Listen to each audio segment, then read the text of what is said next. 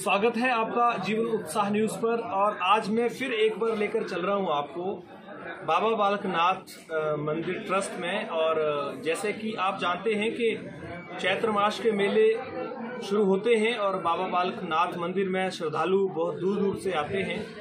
ये प्रथा चलती आ रही है। आपको जानकारी के लिए मैं ये भी बता दूँ कि बाबा बालकनाथ एक सिद्ध पीठ जो कि हमीरपुर जिला के अंदर अंतर्गत आता है, एक ट्रस्ट के अंतर्गत इसको चलाया जाता है। जो भी व्यवस्थाएँ होती हैं, ट्रस्ट द्वारा देखी जाती हैं, जहाँ पर यात्रियों की सुविधाओं के लिए, उनकी सुरक्षा के लिए, उनके हर एक समस्या को और वो जो यहाँ पर आते हैं, उनकी यात्रा को सुखमय बनाने के लिए ट्रस्ट द्वारा कुछ जिम्मेवारियाँ ली जाती हैं। तो उन जिम्मेवारियों के चलते बहुत सारे जो लोग हैं, कई बार अवेयर नहीं होते हैं, कई बार बहुत सारे कारण रहते हैं जिनकी वजह से कई बार शिकायतें भी रहती हैं, बहुत सारी चर्चाएँ रहती हैं, लेकिन आज क्योंकि शुरुआत है अभी मेलों की, तेरह मार्च से ये मेले स्टार्ट हो जाएँगे और एक महीना तक ये मेले चलते हैं। तो आज हम आपकी चर्चा कराएँगे temple officer OP Lakhanpal ji से और कुछ चर्चा उनसे करेंगे। उन्होंने मंदिर को लेकर ट्रस्ट को लेकर जो इनकी जिम्मेवारियाँ रहती हैं, क्या तैयारियाँ की हैं किस तरह से ये व्यवस्थाओं को बेहतर बना सकते हैं, किस तरह से बेहतर बनाएँगे और श्रद्धालुओं के लिए क्या अच्छी सुविधाएँ जो देने का प्रयास करता है ट्रस्ट, उसमें ये बेहतर भूमिका निभा पाएँगे। और दूसरी तरफ़ श्रद्धालुओं से जो बहुत दूर से आते हैं बाबा जी की नगरी में यहाँ पर अपनी मनोकामनाएँ पूर्ण करने के लिए, दर्शनों के लिए आते हैं, उनसे भी हम कुछ चर्चा करेंगे इस ट्रस्ट के बारे में या मंदिर के बारे में कुछ बातें करेंगे कि वह भी आए। तो पूरी श्रद्धा से थोड़ी बहुत कमियाँ अगर कहीं बार रहती भी हैं तो उनको एक्सेप्ट करें। और क्योंकि जब हम भगवान के दरबार आते हैं तो सच मायने में हमारी सोच बड़ी पॉजिटिव होनी चाहिए, ये बात तो बिल्कुल सच है।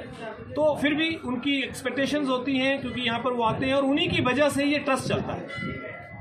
तो उनकी सुविधाओं के लिए ट्रस्ट को ध्यान रखना पड़ेगा कि उनकी सुविधाएँ सर्वोपरि हैं, उनका भी ध्यान रखा जाए। बहरहाल सारी मिलीजुली बातों को लेकर आज हम आपको लेकर चल रहे हैं बाबा बागनाथ मंदिर जिला हमीरपुर में। ओपी लखनपाल जी जो टेंपल ऑफिसर हैं, उनसे बात कराने के लिए और उनसे समझेंगे, उनसे जानेंगे क्या व्यवस्थाएँ उन्होंने इस बार की हैं मंदिर में श्रद्धालुओं के आने पर। तो आइए आपकी बात कराते हैं temple officer OP Lakhanpal ji से और उनसे हम समझते हैं श्रद्धालुओं के लिए क्या तैयारियाँ उन्होंने इस बार की हैं। किस तरह से ये मेलों का जो आयोजन हो रहा है, लोगों के सुख में ही हो, आनंद में ही हो, लोग यहाँ पर आए तो बाबा जी के चरणों में अपना शीश तो नवाएँ, साथ में हिमाचल प्रदेश के प्रति एक अच्छा सुखद एहसास लेकर जाएँ और उनको ये लगे कि अगली बार भी वो बाबा जी के दर्शनों के लिए अपने परिवार के साथ आएँगे। तो चलिए बात कराते हैं आपकी ओपी लखनपाल जी ओपी लखनपाल जी, एक बार फिर से स्वागत है आपका जीवन उत्साह न्यूज़ पर। और अभी जैसा कि बाबा बालकनाथ मंदिर में मेलों का आयोजन ट्रस्ट द्वारा जो तैयारियाँ की जा रही हैं, उनको लेकर आज हम बात करेंगे। सबसे पहले तो हम आज ये जानना चाहेंगे कि इस बार ट्रस्ट ने साफ़ सफ़ाई को लेकर जो कि बड़ा मुद्दा रहता है हमेशा ही। क्या नई तैयारियाँ की हैं और क्या आपको लगता है कि इस बार आप बेहतर से बेहतर सुविधाएँ यात्रियों को देने का प्रयास करेंगे? सबसे पहले तो मैं देश विदेश में रहने वाले सभी बाबा जी के भक्तों का चैत्र मास के मेलों में आने के लिए हार्दिक स्वागत एवं अभिनंदन करता हूँ। बाईस कर्मचारी सफ़ाई के लिए अलग रखे तथा डेढ़ सौ कर्मचारी जो हम वो अलग रखते हैं, उसमें से हमने पिछले वर्ष की बजाय पचास कर्मचारी और बढ़ाए गए हैं। इस बार हमने जो भी कूड़ा, करकट, जो कुछ भी सफ़ाई की व्यवस्था के लिए पूर्ण प्रबंध किया गया है। इस बार हमने डंपरों को उठाने के लिए प्लेसर गाड़ी को हमने ठेका दिया हुआ है, ताकि वो प्लेसर गाड़ी हो, तुरंत उसको कूड़े को वहाँ से लगा, उठाकर जो वह व्यवस्थित स्थान जहाँ पर चिन्हित किया गया है वहाँ पर उसको कूड़ा को रखे। और इस बार हमने सभी दुकानदारों को ये आदेश दिए हैं कि वो एक अपना सूखा कूड़ा और गीला कूड़ा अलग प्रकार से रखेंगे। हमने डंपर भी उसी प्रकार से तैयार करवाए हैं कि जिसमें गीला कूड़ा और सूखा कूड़ा जो अलग अलग डाला जाए।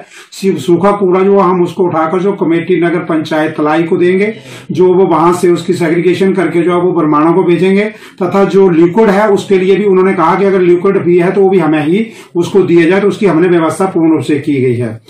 और बाकी जो है पानी की व्यवस्था जो है पानी की व्यवस्था के लिए बस अड्डे पर हमें व्यवस्था जो है हमने एक डायरेक्ट लाइन डाल दी है जहाँ से लोगों को श्रद्धालुओं को पीने के लिए पानी भी मिलेगा। और अगर उन्होंने गर्मियों के दिनों में उसका नहाने के लिए यूज़ करना हो तो वहाँ पर वो उसका नहाने के लिए भी यूज़ कर, कर सकते हैं। शौचालय के लिए भी उसका यूज़ होगा। तो हमने वो एक स्कीम जो है तो लग तौर पर जो पाइप डाली हुई है। अच्छा लखनपाल जी, जैसे इस बार श्रद्धालु क्योंकि आ रहे हैं और पूरे देश में कोरोना वायरस को लेकर एक बड़ा हाहाकार सा मचा, डर सा लोगों के अंदर बैठा हुआ है। जहाँ भी पब्लिक आती है, वहाँ पर इस तरह का डर है।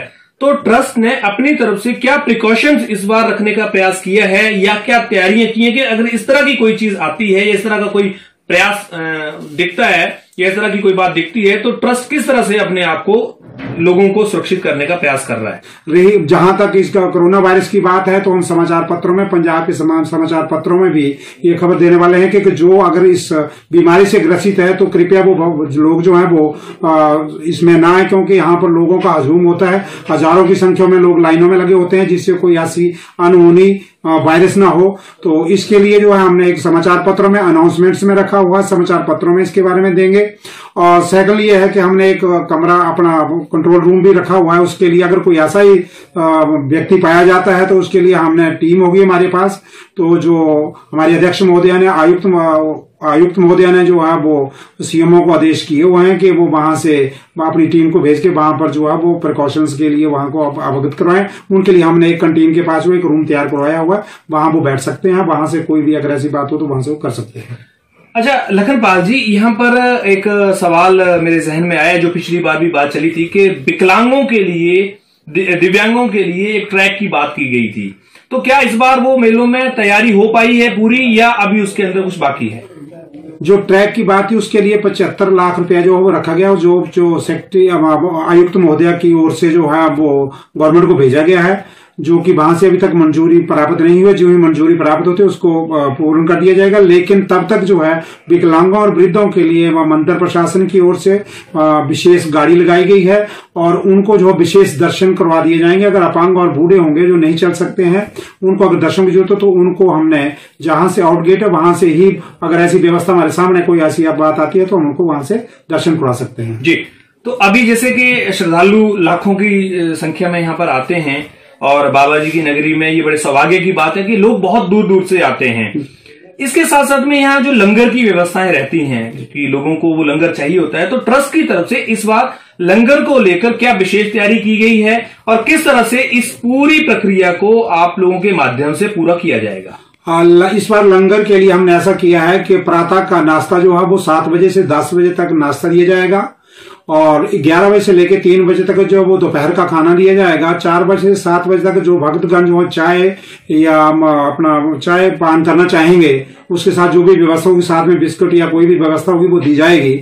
आठ बजे से लेकर रात को ग्यारह बजे तक जो वो लंग, रात के लंगर का आयोजन किया जाएगा और जो लाइन में लगे होंगे लोग उनको जब तक वो खाना नहीं खाएँगे तब तक वो लंगर बंद नहीं किया जाएगा। एक पीछे नोटिफिकेशन आया था कि मंदिर से लाइव आरती का प्रसारण किया जाएगा। तो उसको लेकर इस बार आपकी क्या तैयारी आपने की है? हाँ हमें जो है मंदिर के लिए जो वो एक करोड़ पैतालीस लाख रुपया जो था वो ऑडियो वीडियो सिस्टम के लिए प्राप्त हुआ था, जो कि मेला से पूर्व जो वो चालू कर दिया जाएगा। इसमें जहाँ तक लाइव आरती का है कि लोकल में तो लाइव आरती चल पड़ेगी, एक चैनल के माध्यम से हमने लाइव करना है, उसके बाद पूर्ण तैयारी की जा रही है, पूर्ण रूप से कोशिश की जा रही है कि हम मेला से पूर्व जो वो लाइव आरती को जो वो करें।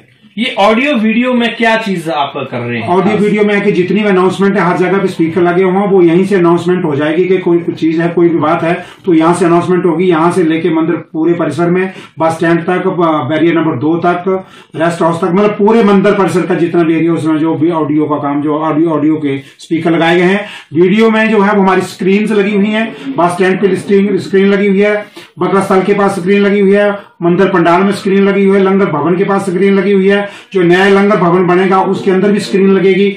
तो उसमें जो है वो पूरी व्यवस्थाओं को जो है वो आदमी जो जो लाइनों में लगे होंगे पूरी व्यवस्थाओं को देख सकते हैं। और एक इसका कंट्रोल जो है वो आयुक्त महोदय के कमरे में भी जो है ऑफ़िस में भी जो है वो इसको लगाया जा रहा है। और ये भी कोशिश की जा रही है कि बस स्टैंड हमीरपुर या गांधी चौक में भी मेलों के प्रसारण के लिए जो है वो ऑडियो वीडियो का जो का वीडियो का जो लाइव जो है वो प्रोग्राम बताया जाए। जी। अच्छा सर, यहाँ पर एक लंगर भवन को लेकर बात चल रही थी, बहुत लंबे समय से लंगर भवन बन रहा था और इस बार पिछली बार भी शायद ये कहा गया था कि लंगर भवन को हम तैयार कर लेंगे अब तक। तो क्या इस बार ये नया वाला जो लंगर भवन है, क्या ट्रस्ट द्वारा तैयार किया जा चुका है या अभी उसमें कुछ कमियाँ हैं, कुछ खामियाँ रह चुकी हैं? ये लंगर भवन का ठेका जो था वो बीएसएन डिपार्टमेंट को था। लंगर भवन जो है वो अंतिम चरण पर है। इस वक्त जो है वो पार्किंग की पेवर का काम चल रहा वो। तकरीबन एक आधे दिन में खत्म होने वाला है। जहाँ तक बाकी कार्य की बात है कि वो लिफ्ट लगनी थी। अभी तक वो लिफ्ट का काम जो है वो शुरू नहीं क्योंकि लिफ्ट का जो सामान था वो कहीं बाहर से आ रहा था। वो समय पर ना पहुँचने की वजह से लिफ्ट का कार्य नहीं हो सका है। वो कार्य मेलों के दौरान चला रहेगा। जहाँ तक उद्घाटन की बात है, जैसे आयुक्त महोदय अध्यक्ष महोदय जो है, वो जैसा निर्णय लेंगे, उसके आधार पर जो लंगर भवन को चालू मतलब जो उद्घाटन कराने के बारे में जो प्रक्रिया की। जी। लखनपाल जी, इस बार मंदिर में मेलों को लेकर जो तैयारियाँ हो रही हैं, उसको लेकर आप क्या कोई विशेष मैसेज अपने जो श्रद्धालु यहाँ पर आ रहे हैं, उनके लिए, या फिर आपके कर्मचारियों के लिए, या फिर लोगों की स्थानीय व्यवस्थाओं के लिए या दुकानदारों के लिए, क्या ऐसा कोई मैसेज देना चाहेंगे जिससे कि शांति व्यवस्था, सुरक्षा को लेकर और हर एक चीज़ को ध्यान में रखा जाए, एक मंदिर अधिकारी होने के नाते आपको क्या ऐसी चीज़ें लगती हैं जिनको आप चाहते हैं कि ये बातें हमारे यात्रियों की सुविधाओं के लिए बेहतर हैं? इस बार सुरक्षा की दृष्टि से जो है वो प्रशासन द्वारा जो वो सौ पच्चीस होमगार्ड और पुलिस कर्मचारी नियुक्त किए गए हैं, जो चप्पे चप्पे पर तैनात रहेंगे, हर व्यवस्थाओं को देखेंगे, सुरक्षा को देखेंगे और इसके अतिरिक्त जो है वो मंदिर में जो हमारा जो श्रद्धालु आएँगे उनके लिए यह है कि हमारे कर्मचारियों को, हमारे व्यवस्था पर जो भी कर्मचारी नियुक्त होंगे, उनको कहा गया कि मधुर स्वर से उनसे बात की जाए। हम श्रद्धालुओं से भी अपेक्षा करेंगे कि वो भी हमारे कर्मचारी हैं, उनके साथ अच्छे रूप से मधुर भाषा में बात करें, जिससे जो है कि व्यवस्था बनी रहे। तथा हमने इस बार जो मीटिंग अध्यक्ष मोदी द्वारा दोनों बाजारों के व्यापारियों द्वारा की गई थी, उसमें भी यही कहा गया था कि श्रद्धालुओं से जो वो अच्छा व्यवहार किया जाए। इस बार हमने रोड प्रसाद का रेट भी किलो के हिसाब से फिक्स किया है ताकि श्रद्धालुओं को रोड जो है वो किलो के हिसाब से मिले। अगर एक रोड भी लेना तो उसके वज़न के हिसाब से उसको रोड मिले ताकि उनके साथ कोई ऐसी बात ना हो कि जी उनको रोड ज़्यादा पैसे लेते हैं और रोड जो होता है वो कम होता है। तो, तो मैं ये भी चाहूँगा श्रद्धालुओं से चाहूँगा कि वो हमारी व्यवस्था के साथ जो है वो वो भी जो है वो साथ दें और जो भी उनको अगर कोई प्रॉब्लम हो तो वो प्रशासन को बता सकते हैं। जी। बहुत बहुत धन्यवाद सर आपका। तो तो जैसे कि आज हमने आपकी बात कराई temple officer OP Lakhanpal ji से, जिन्होंने अपनी सारी बातों को लेकर आपके बीच में चर्चा रखी, और दूसरी तरफ़ मैं, जीवन उत्साह न्यूज़ के माध्यम से भी उन सभी श्रद्धालुओं का स्वागत करता हूँ, और उनसे ये आवाहन करता हूँ कि ये मंदिर आपका अपना मंदिर है। आप यहाँ पर आते हैं, सारी व्यवस्थाएँ आपकी अपनी हैं। कुछ जिम्मेवारियाँ आपको अपनी खुद निभानी पड़ेंगी। कूड़े को डस्टबिन के अंदर डालें बेवजह किसी तरह से बंदरों को इस तरह से प्रसाद ना डालें ताकि किसी तरह की व्यवस्था में खराबी हो। और आप अगर मंदिर को, ट्रस्ट को अगर सपोर्ट करेंगे तो ट्रस्ट आपके लिए और बेहतर से बेहतर सुविधाएँ देने का प्रयास करेगा। महिलाओं का, बच्चों का खासकर ध्यान रखें। और अगर कोई व्यक्ति बीमार है, किसी को किस तरह का कोई समस्या है तो वो अपने प्रिकॉशंस से यहाँ पर अपने आप को संभाल के रखे, क्योंकि यहाँ पर हर तरह की मेडिकल फैसिलिटीज़ भी, जैसे कि मंदिर ट्रस्ट द्वारा दी जाती है, अगर किसी तरह की कोई समस्या होती है तो वो यहाँ पर संपर्क कर सकता है। मंदिर में व्यवस्था बनाए रखना हम सबकी जिम्मेवारी है, और इसके लिए आप सबको एक जिम्मेवारी लेकर यहाँ पर आना होगा। बहुत बहुत धन्यवाद, आपका इसी तरह से बने रहिए आप हमारे साथ में। Thank you very much